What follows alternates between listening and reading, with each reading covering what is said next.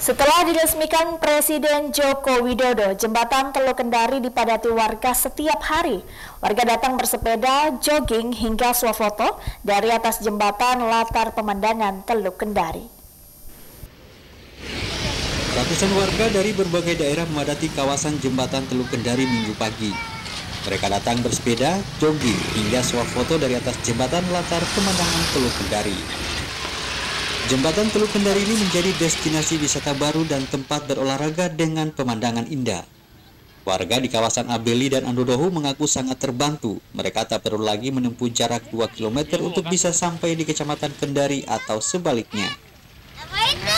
Pertamanya saya yang bermukim di wilayah Andonohu Kambu untuk ke daerah kota atau ke pelabuhan lebih dekat tidak perlu memutar lagi otomatis waktu yang diperlukan dekat kemudian dengan mudah-mudahan dengan adanya jembatan Teluk Kendari ini pergerakan ekonomi yang ada di daerah Abeli utamanya kota kota yang sudah mulai sunyi mudah-mudahan bergerak kembali untuk bangkit Jembatan Teluk Kendari menjadi ikon baru dan kebanggaan warga kota Kendari setelah diresmikan Presiden Joko Widodo.